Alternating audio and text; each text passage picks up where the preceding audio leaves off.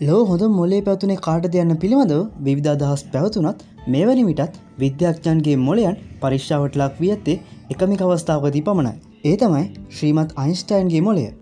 මේ පැහැදිලි ලෙසම අවයව ජාවාරමක ලෙස හඳුන්වාදිය හැකි අතර මීට හේතුව ලෙස ඇල්බට් අයින්ස්ටයින් ජීවත්ව සිටියදී තම් මොලය කිසි කලෙකත් පරීක්ෂාවට භාජනය නොකරන ලෙස ලෝකයාගෙන් කරන ලද ඉල්ලීම පෙන්වාදිය හැකි.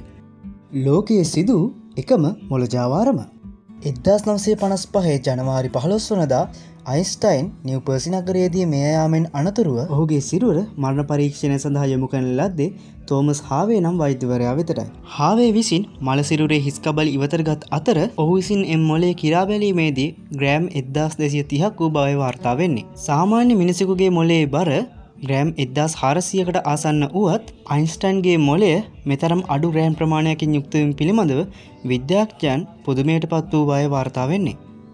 හාවේ විසින් කැබලි කරන ලද මොලය.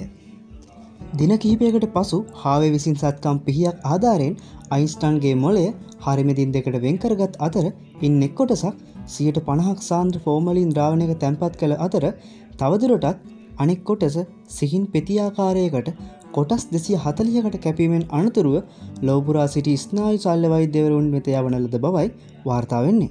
මේ අතර අයින්ස්ටයින්ගේ ඇස් දෙක අක්ෂිශෛල්‍ය වෛද්‍යවරයෙක් වූ හෙන්රි ඒබ්‍රහම්ට ලබාදීමට හාවේ කටයුතු සම්බාධනය කළ බවතමයි වාර්තාාවන්නේ. අයිස්ටයින්ගේ මොලේ විශේෂත්වය සාමාන්‍ය මිනිස් මොලේ පවතින උපයකුළුව නම් කොටස අයිස්ටයින්ගේ මොලේ පිහිටා නොතිබුණු බව මෙම පලම් පරීක්ෂණ හරහත හවරු වුණා. මෙම කොටස අයින්ස්ටන්ගේ මොලේ නොමතවීම නිසා නිවරෝණ ඉතාම නිදහසේ කාර්යක්ෂම ක්‍රියා කර ඇති බව තමයි බෞද්ධවරුන්ගේ මත බවට පත්වෙලා තියෙන්නේ. තවදුරටත් කරලද පරීක්ෂණවලදී මිනිස් මොලේ සංඥාහුවමාරු සඳහා දායක වන ග්ලියාසයිල් නම් කොටස වෙනත් මොලයක් හා සසඳන විට අයින්ස්ටන්ගේ මොලේ බහුලව දක්න ලැබුණු බව තමයි වෛද්‍යවරුන් වාර්තා කරන්නේ. මොල කැබලි සහිත වීතුරු බෝතල්. මෙම මොළජාවාරවෙන් වසරකට පසුව දොස්තර හාවේගේ රස්සාාව අහිමූ අතර සඟවාගත් මොල කැබිලි සහිත කුඩා වීතුරු බෝතල් දෙකක් හාවේ තවදුරටත් තමා සන්තකයේ තබා ගන්න සමත් වූ බවයි වාර්තා වෙන්නේ. මෙම බෝතල් දෙක රැගෙන කැන්සායි ප්‍රදේශයට පලාගිය දොස්තර හාවේගේ මිතුරෙකු මාර්ගයෙන් මෙම බෝතල් දෙක නැවත රජය වෙත ලබාගන්න ඔවුන් සමත් වුණා.